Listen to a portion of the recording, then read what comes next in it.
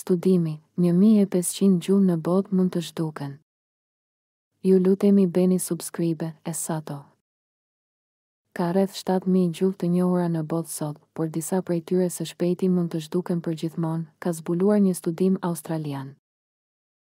Sipas tij, rreth gjysma e gjuhës është në rrezik dhe një mijë e pesëqind mund të zhduken plotësisht deri në fund të shekullit. Pa ndërhyrje, humbja e gjuhës mund të trefishohet në dyzet vjet, me një gjuhë të humbur në muaj, shkruajnë autorët. Ata këshillojnë miratimin e kurrikulave që mbështesin arsimin dygjuhësh dhe inkurajojnë si zotërimin e gjuhëve indigjene, ashtu edhe përdorimin e gjuhëve dominuese rajonale. Studimi, i kryer nga Universiteti Kombëtar Australian, u publikua në revistën online Nature Ecology and Evolution.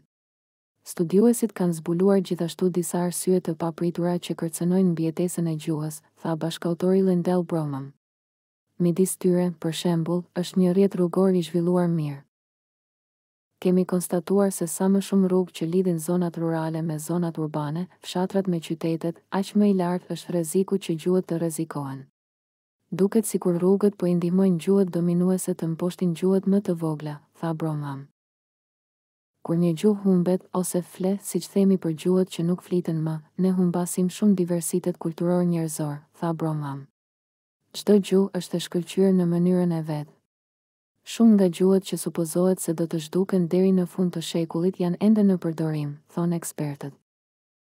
Kështu që ka ende një shans për të mbështetur komunitetet për të rigjallëruar gjuhët indigjene dhe për t'i forcuar ato për brezat e ardhshëm, shpjegoi Bromham.